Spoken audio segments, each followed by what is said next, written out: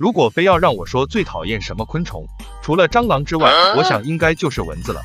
不知道大家有没有发现，以前只有到夏天的时候才会有蚊子，但是现在哪怕天气转冷了，还是能看到蚊子在嗡嗡嗡的飞。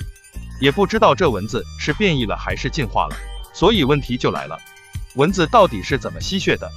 首先啊，蚊子的一对触须和三对不足上，那里啊分布着很多轮生的感觉毛，每根感觉毛上密集的排列着圆形或椭圆形细孔。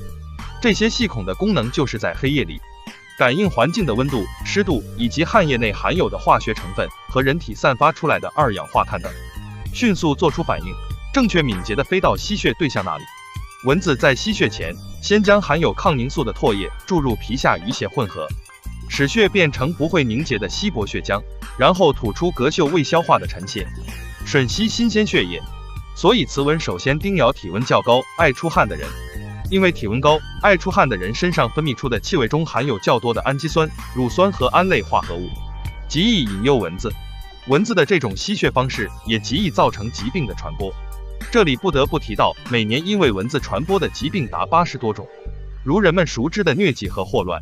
因此，我们在家也可以做好预防蚊虫滋生的工作，比如清除滋生水体，可以大大降低蚊虫的密度。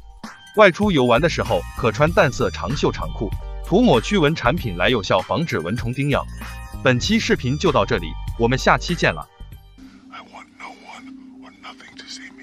not a coyote, not a moose, not a bear, not even another leaf.